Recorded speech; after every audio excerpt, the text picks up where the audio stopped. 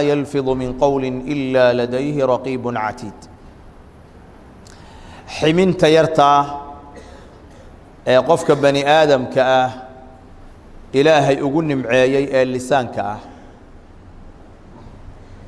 waa nimca cadiima oo ilaahay subxaanahu wa tacaala insaanka ugu nimceeyey haddii loo adeegsado khayrka waxay kuu kasbaysaa acmaal wanaagsan oo fara badan oo ilaahay jannadiisa aa ku geshid haddii dhinaca kale ay u weecato waxay ku geynaysaa naarta. Ilaahay wuxuu leeyahay subxaanahu wa tacaala insaanku kelimad kuma qowlo ilaa waxaa u jooga raqiibun catiid. Raqiib waxa weeyaan alxaafid الshaahid mid xifdinahaya oo shaahidahoo markhaati ah catiidna waxa weeyaan alxaadir almuhaya waa xaadir loo diyaariyey waxba inayna dhaafin kalaamkaaga iyo kelimaddaada waxaa loo xil saaray ilaahay subxaanahu wa tacaala agtiisa malaa'ig qoraysa oo aruurinaysa oo diiwaan gelinaysa wuxuu ilaahay leeyahay subxaanaه wa taعaalى إna السمca والbaصر والفu'aada kul أulaa'ika kaana canhu mas-uula maqalkaaga iyo araggaaga iyo qalbigaaga dhammaan waa la isweydiinaya xisaab baa ka dambaysa xawaastan iyo dareenkan ilaahay kugu rakibay xisaab ayaa u taalla walidaalika nebiga salى اllahu عalayhi waalihi wasalam wuxuu aad iyo aad oga hadlay lisaanka iyo carabka iyo khatarta uu leeyahay markaasuu nebigu wuxuu yidhi man kaana yu'minu biاllahi waاlyowmi اlآakhiri falyaqul khayra aw liyasmut qofkii aakhiro rumaysan iyo ilaahay kelimad khayra ha ku hadlo hadduunan ku hadlahayn ha iska aamuso. Markii la weydiiyey ayu lmuslimiina afdal? Yaa ugu feecan muslimiinta ugu fadli badan wuxuu nebigu yidhi man salima almuslimuuna min lisaanihi wa yadih carabkiisa iyo gacantiisa qofkii laga nabad galo ayaa ummadda ugu wanaagsan uguna fadli badan ummaddu ay ka badbaadaan. Walidaalika bay saxaabadu nebiga sala allahu alayh wasalam waxay weydiin jireen wax alla wixii khayr ah oo ku soo dhaca ayay su'aali jireen. Waxay kaloo weydiin jireen meelaha sharta iyo khatarta uga imaan karto. Sufyaan ibnu cabdillaah markuu nebiga u yimid wuxuu yaa rasuula allah waxaa ii sheegtaa arrin aan ku dhego oo aan qabsado oo aan ku camal falo arrinkaa ay sii. Markaasaa nebigu yidhi waxaad tidhaahdaa ilaahay baan rumeeye kuna toosnow. Markaasuu su'aal labaa weydiiyo wuxuu yidhi maa akhwafu maa takhaafu calay. Waxa aad iiga cabsanaysid maxaa ugu daran inaan ku dhaco? Su'aal wajiiha weeye waxa aad iiga baqaysid maxaa ugu weyn oo ugu cabsi badan oo aad iiga cabsanaysaa nebigu calayhi الsalaatu wasalaam carabkiisa ayuu qabtay. Markuu carabkiisa sidaa u qabtay ayuu yidhi haada midkaan ayaan kaaga baqayaa oo igu cabsi badan oon kaaga cabsanay. Mucaad bnu jabal radia allaahu canh nebiga ayuu safar kula jiray khaswatu tabuuk qoraxdii oo aad u kululaatay. Dadkiina aad u ooman yihiin ayaa harka la kala aaday meel safar baa lagu jira markaasuu fursad wuxuu u helay nebiga inuu u soo dhowaado oo su'aal uu weydiin karo. Fursaddii wuu ka faa'iidaysto wuxuu yidhi ilaahay rasuulkiisiiyow waxaa i tustaa camal aan sameeyo. Yudkhilunii aljanna wa yubaacidunii min annaar. Camal jannada igeliya naartana iga dheereeya. Camalkaa ii sheeg waa fursad qaali ah waa su'aal cadiim oo aad u weynin badan. Markaasaa nebigu yihi laqad sa'alta can cadiim arrin weyn ayaa xaggiisa wax ka weydiisay waa arrin weynin badan. Ilaahay wax uu inuu ku waafajiyo. In jannada waxaa ku geli lahayd laguu fududeeyo. Naartana wixii aad ku gelaysa lagaa celiyo. Wa innahu layasiirun calaa man yasarahu allaahu calayh. Laakiin qofkii ilaahay u fududeeyo arrinkaasi waa u fududya markaasaa nebigu wuxuu tiriyey abwaabta khayrka. Ayuu tidhi sadaqadii soonkii jihaadkii markuu soo tiriyey salaaddii islaamkii. Ayuu yidhi ma kuu sheegaa waxaa oo khayr ah wax isku fuuqsanahayo markaasuu yidhi ii sheeg rasuulka ilaahayow kufa calayka haadaa bud carabkaaga iska qabo wixii khayr ahaadoo aan kuu tiriya asagaa gubahaya markaasuu yidhi wainnaa lamu'aakhaduuna bima natakallamu bih oo wax alla waxaan ku hadlayno miyaa naloo qabanaya markaasuu yidhi hakiladka ummuk wahal yakubu الnaasa fi الnaar calىa wujuuhihim wa shaku min araawi aw calىa manaakhirihim ilaa xasaa'idu alsinati war hooyadaa ha ku weydee dadka miyaa naarta loogu tuuraa oo naarta ay ugu daataan weji weji ama sanqaroorkooda ilaa xasaa'idu alsinatihim carabadoodu wixii ay kasbadeen. Mooyaane wax kaleba dadku naarta ugu daadan maya. Dadka weji weji naarta loogu ridahayo oo wejigoodii naarta loogu hormarinahayo waxa ay ku mutaysteene waa xasaa'idu alsinati. Wixii ay ururiyeen oo ay jamciyeen oo ay kasbadeen lisaankoodii iyo carabadoodu bay naarta dadku ku gelahayaan war isdaba qabo is-ilaali oo camalkaaga wanaagsan ilaasho waxaana fasaadinaya weeyaan carabkaaga ee carabkaaga ka ilaali. Cuqbata bnu caamir markuu nebiga weydiiyey su'aashay ahayd man najaa badbaadadu xaggey ku jirtaa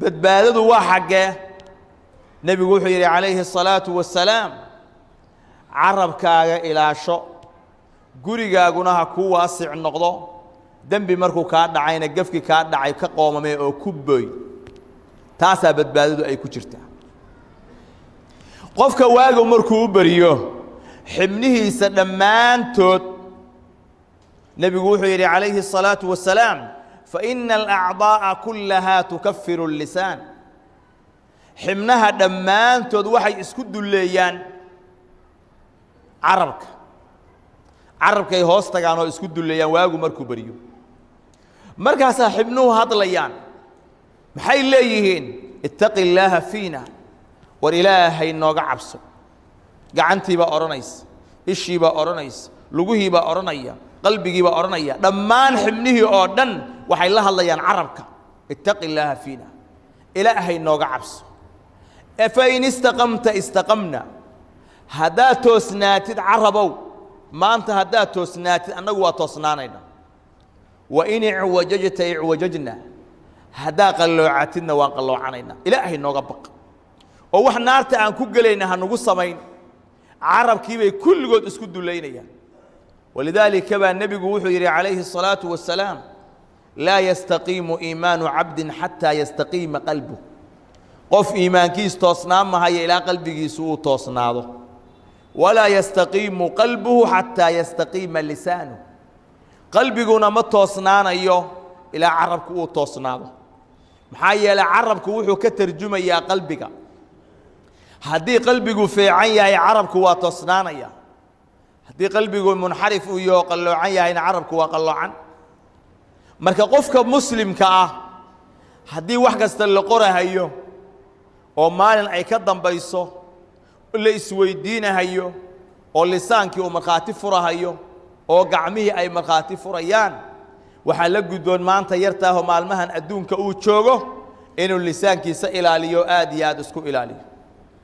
Nebigu wuxuu yidhi ina arajula layatakallamu bilkalima maa yatabayanu fiiha qofku kelimad ayuu ku dhawaaqayaa uunan ka fiirsanin yazillu biha fi الnaar abcada maa bayna almashriqi wاlmaqrib kelimaddaa uu ku dhawaaqay sababteed ayuu naarta ugu hoobanayaa wax ka fog qorax ka soo bax ilaa qoraxu dhac wax isaga fog ayuu naarta ku shalwanaya waa in qofka mu'minkaahi uu ku didaalaa camalkiisa uu samaynayo uu kasbayo uu shaqaysanayo lisaankiisa inuu aad iyo aad uga ilaaliyo. Inuu ku hadlo hadallo khatar ah oo camalkiisii baabi'inaya.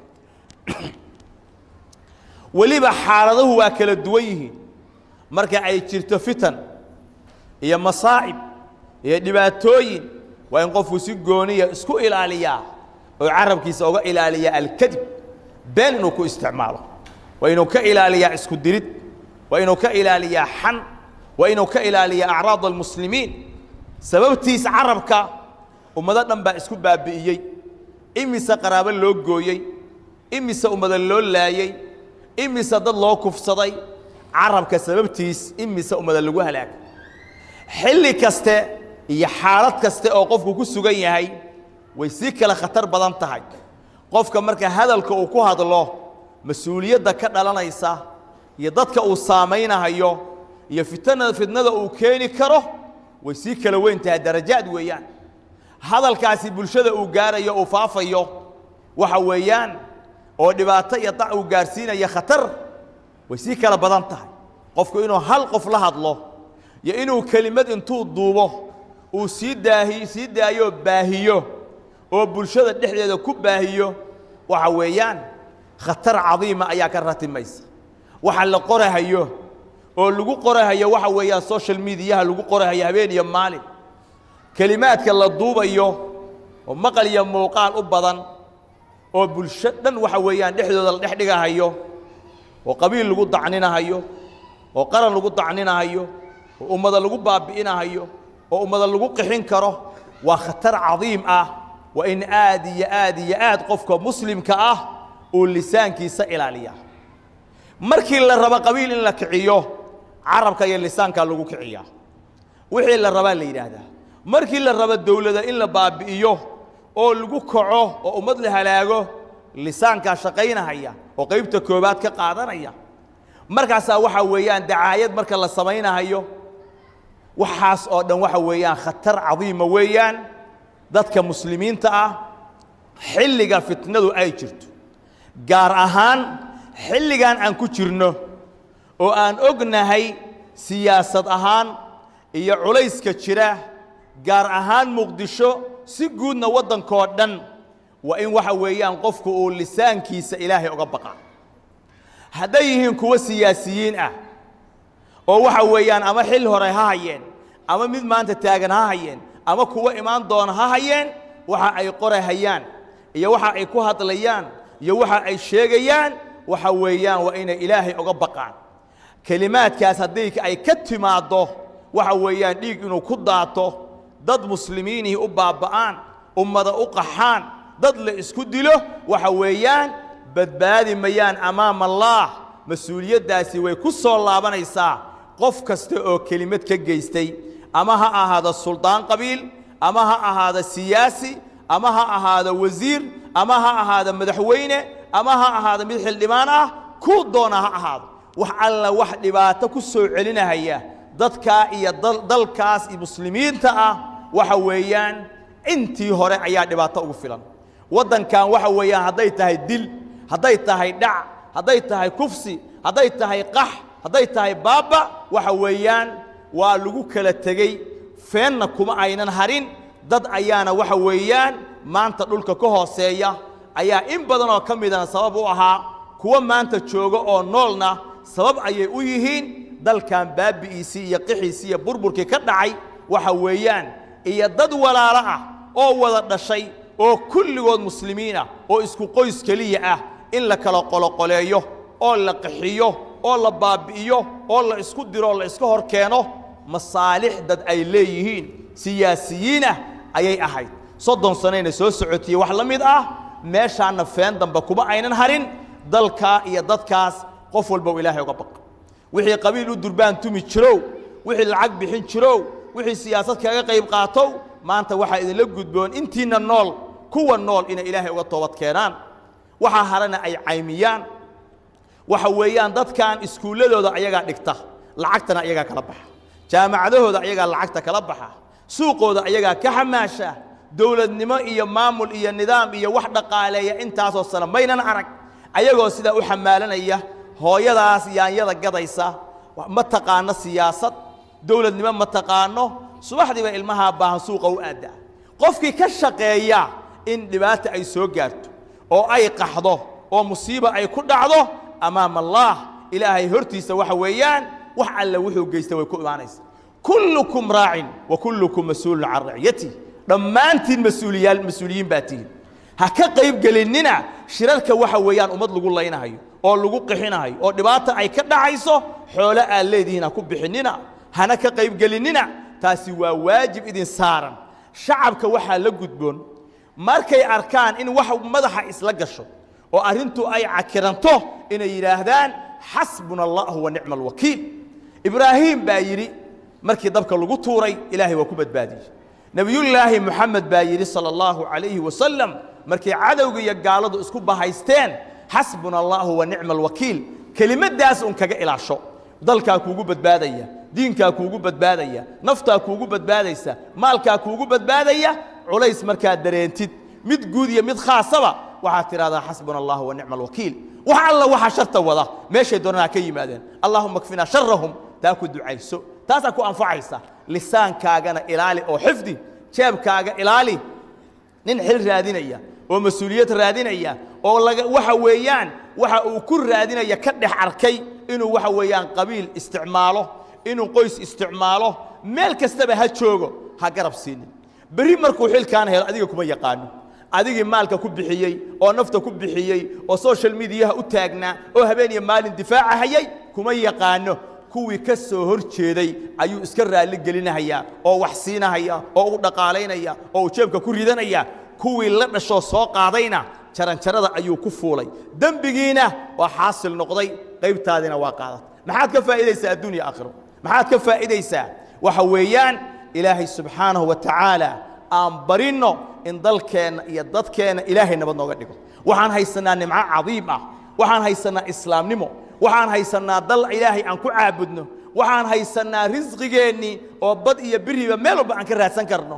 Waxaan rabnaa kuwa qaxay oo dibadda aada inay soo laabtaan kuwa joogaana ay amni iyo nabadgelyo ay helaan baryaha ilaahay baan ku gaaraynaa subxaanahu wa tacaala xifdu lisaan carabkeenna inaan ilaalinana aan ku didaalno fitankaasna yaanan ka qayb qaadan nuuc kastoo ay tahay allahuma rabbana aatina fi dunya xasana fi اlaakhirati xasana qina cadaab الnar اللهم إنا نسألك الهدى والتقى والعفاف والغنى اللهم اغفر للمسلمين والمسلمات والمؤمنين والمؤمنات الأحياء منهم والأموات برحمتك يا أرحم الراحمين.